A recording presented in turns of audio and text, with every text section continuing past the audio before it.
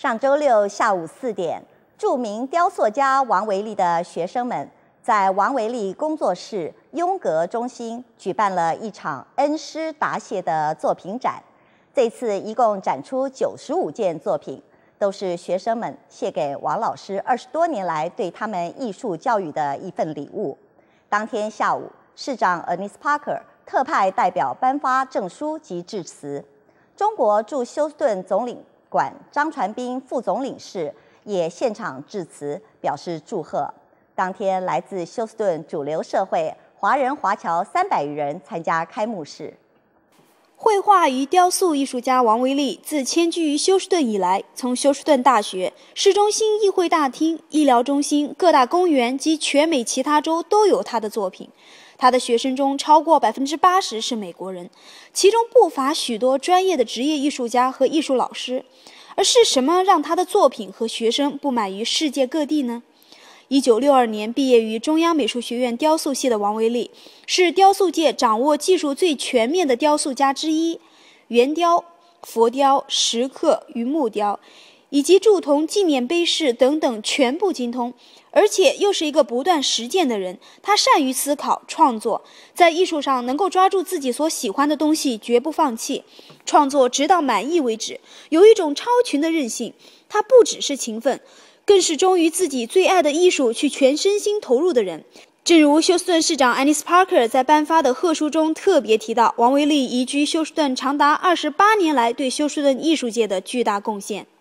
他在休斯顿的艺术发展走向国际化的道路上写下了深深的一笔。他将自己的才华传授于各大地区和社团。对于自己在休斯顿的表现，王老师也表示，对于自己所有的作品都是尽力了。对，其实我我的东西在不同国家，在美国的不同城市都有很多。当然，我住在休顿，休顿就更多的机会让我做。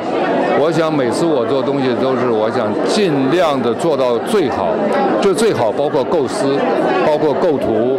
当然，构思在前，然后构思，我一定要达到我自己的理想。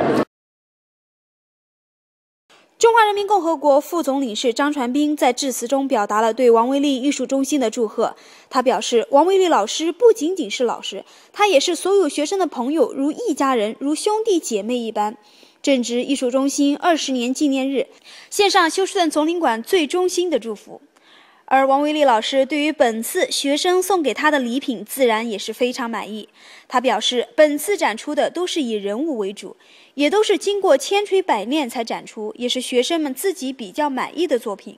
那么，首先来问问王老师，王老师，这一次你们展出主要是以什么样的作品为主？主要人以人物为主，人物的形象，人物的呃身体，人物的。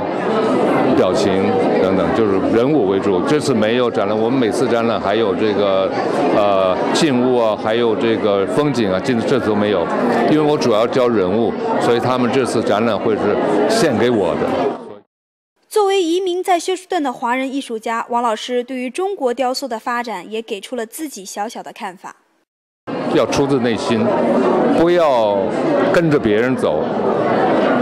用自己的心去做雕塑，那就好，我就这样觉得。